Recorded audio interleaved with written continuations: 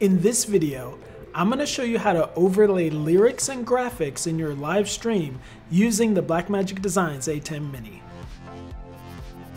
Hello, I'm Stephen Ballast. Welcome to my channel where I explore worship technology solutions.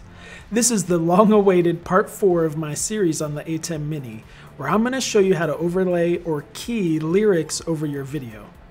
Everything in this video and just about everything in my previous ATEM Mini videos also applies to the newer ATEM Mini Pro that was released since I started this series. The Pro adds additional features, but everything the Mini can do, the Mini Pro can do as well, so this video applies to both switchers. To overlay lyrics or graphics over your video using the ATEM Mini, you use what's called a key. The Mini has one upstream keyer and one downstream keyer, and they have a little bit different functionality as we'll see in a minute. First, let's talk about how a key works and some of the different methods that are used. Keying is the process of removing part of a video image so that you can overlay what's left over another video image.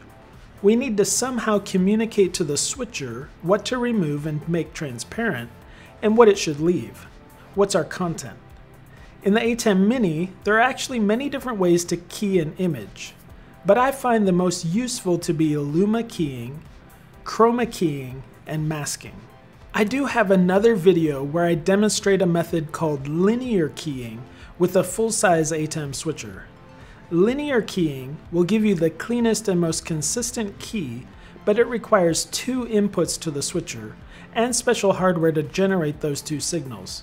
So on a budget 4-input switcher like the Mini, I don't think it's very practical. But if you're interested in seeing that, you can check out that video.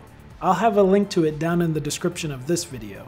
Luma keying works by removing parts of the overlaid image based on brightness. Black areas are removed and made transparent, and the switcher leaves behind brighter areas. This works best with a black background and white text because there is a wide separation in brightness from the background to content. Chroma keying removes a color that you define. A lot of people are familiar with green screen that would be a chroma key. But it's important to note that it doesn't have to be green. You could use any color that you define to be removed. And then masking works by defining a specific location and size in the image to leave and remove the rest. So knowing what the switcher needs to create the key, let's talk about how to generate that as an input to the switcher. Specifically, I'm going to be talking about worship presentation software. But anything that can generate a graphics output, even PowerPoint, could be used as your source for keying. First of all, understand that this is coming into the switcher on one of its HDMI inputs. So we need to be able to generate this as a physical display out from our computer. In the context of worship presentation software, we are going to need a computer that has at least three physical outputs. The control screen or operator screen, the main display that goes to our local projection screens, and then finally the overlay display going to our ATEM Mini. If you use the stage display functionality that most worship presentation software has, that would be a fourth display output. So the first thing you're going to need to do to make this work is make sure your computer hardware is capable of that many physical outputs. I have three displays running on this laptop. The laptop screen is my operator display, the HDMI output is going straight to input 4 of my ATEM Mini. That's going to be my overlay output. And the VGA output is going to my main projection output that will be shown to the audience in the room, and that's showing up on the TV back there. In Windows display settings, you can see that I have all three displays configured to extend the desktop rather than duplicate. Right now, the software that I think deals best with multiple display outputs and unique content being sent to each of those is the new version 7 of ProPresenter. Other presentation software will do this to varying degrees or not, but I think the new version of ProPresenter has the simplest, most direct way to generate all the differently formatted outputs that you need from the software. And the fact that ProPresenter is now functional on PC, it makes this cost effective as well. So let's take a look at how to set this up in ProPresenter and generate the content that we need. First, in ProPresenter, we need to configure our three display outputs, or screens as they call it. So go to the Screens menu and select Configure Screens.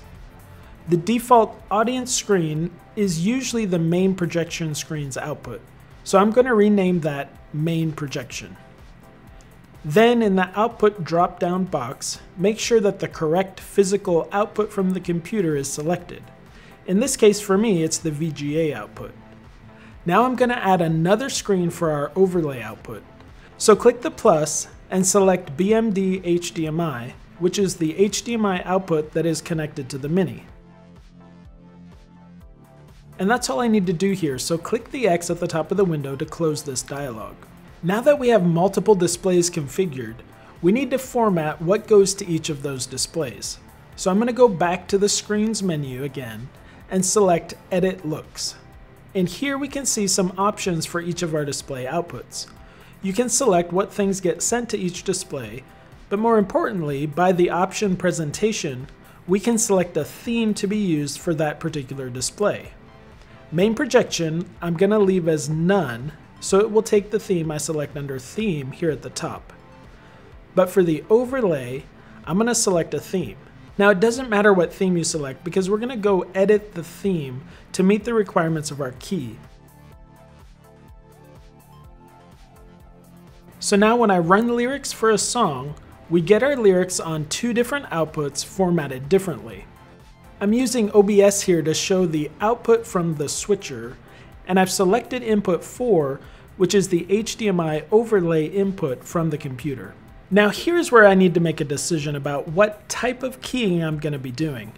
If all I want is white lyrics overlaid over my video, Luma keying is probably the way to go. You'll need to go into the theme editor and we need to make the background black for the theme. I'm going to delete this line here and move the text box to the bottom of the screen.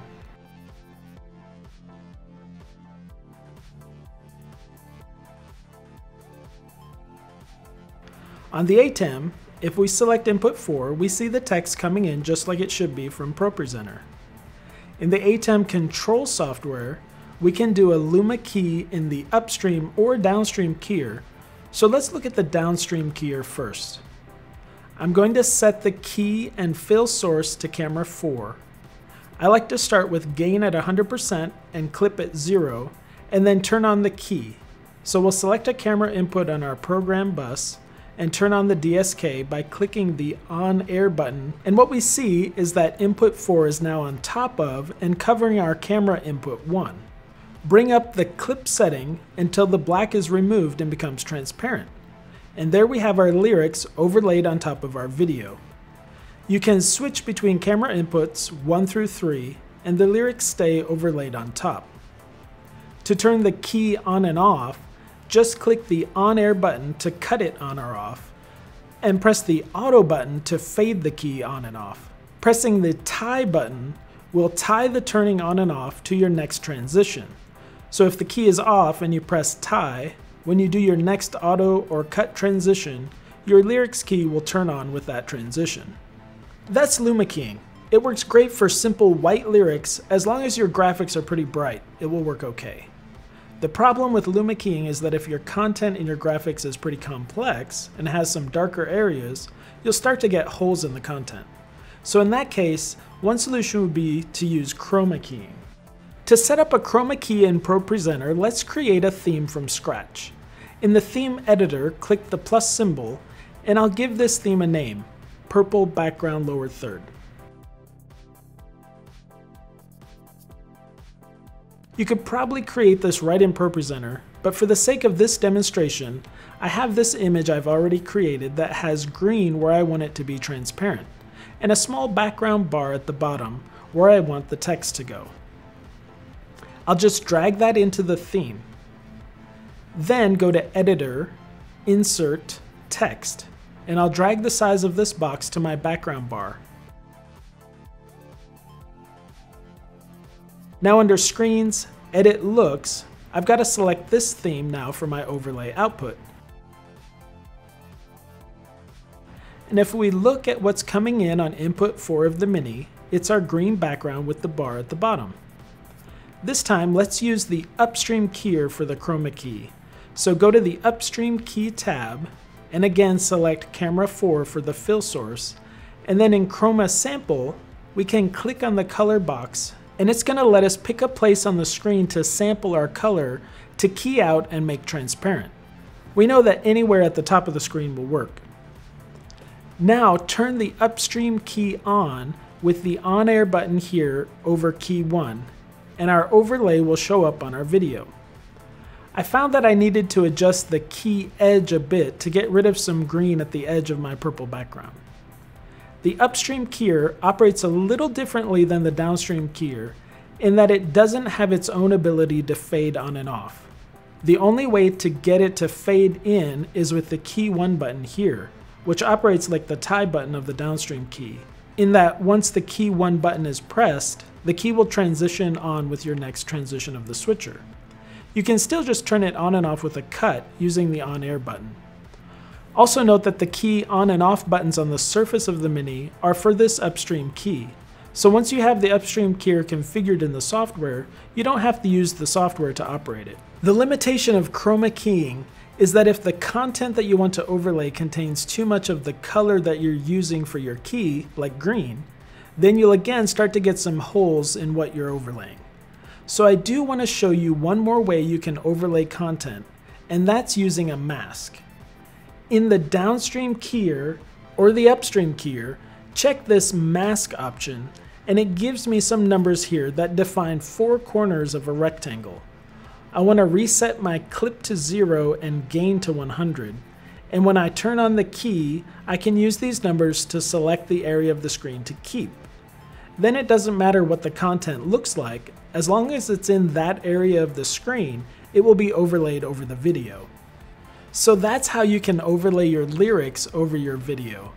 I originally said I was going to do four videos about the ATEM Mini, and a lot has happened since I started this series, which has caused it to drag on longer than it should have. So I apologize for that if you've been waiting for this last video. But that also means a lot has happened, like the ATEM Mini Pro has been released, which adds two really great features. One, it has a built-in multi-view, and second is the ability to live stream right from the Mini Pro through its Ethernet connection without even needing a computer. So all of this to say, this may not be my last video about the ATEM Mini switchers. I may put together a final wrap-up video about some things I've learned about the Mini over the last few months. So if you have any questions about this switcher, leave those in the comments. And if you haven't already, be sure and subscribe to my channel so you won't miss any of my future videos.